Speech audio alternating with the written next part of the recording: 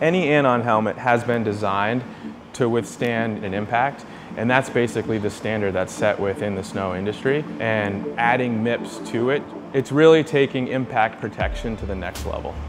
MIPS stands for Multi-Directional Impact Protection System. MIPS utilizes a low friction layer that's positioned in between the helmet shell and the soft liner. So during an angled impact, the helmet is actually able to move independently from that low friction layer. Thus, it reduces the rotational force that's transmitted into the brain during an angled impact.